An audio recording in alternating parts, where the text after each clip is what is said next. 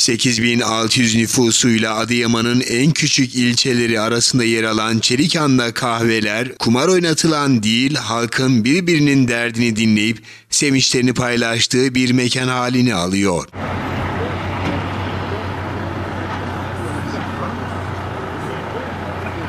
İnanç ve geleneklerine bağlılıklarından taviz vermeyen ilçe sakinleri kin ve düşmanlığın olmadığı bir aile gibi yaşadıklarını dile getiriyorlar.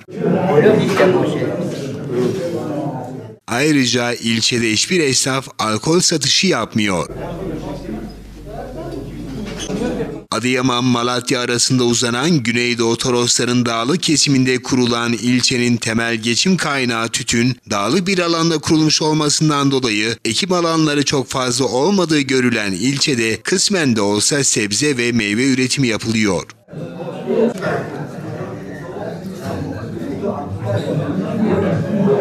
İnanç, gelenek ve göreneklerine bağlılıklarıyla bilinen Çelikan yöresindeki halk kahvehanelerini kumar oynama değil, sohbet ve bir araya gelerek dertleşme mekanı olarak kullanıyor.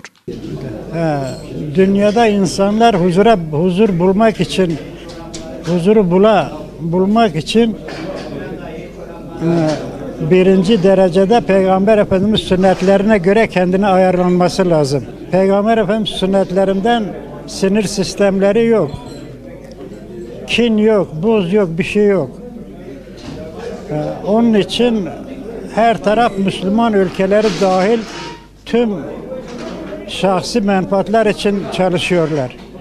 Bir de iki cennet vardır, iki cennet.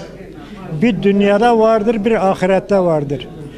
Evini evini cennete çevirmek isteyenler Peygamber Efendimiz sünnetlerine göre kendini ayarlanması lazım. Dünya menfaatini tamamen terk etmek lazım. Bir de kamil insan sıfatına varmak lazım. Bunun tek çaresi de Peygamber Efendimiz sünnetlerine göre kendini ayarlamak. Tüm Çelikan bir mahalle gibidir. Çelikan'ın hepsi. Nerede bir hasta varsa, nerede bir şey varsa Hepimizin haberleri birbirimizden var. Tüm kahvelerde oyun oyun da günah olduğu için terk ettiler.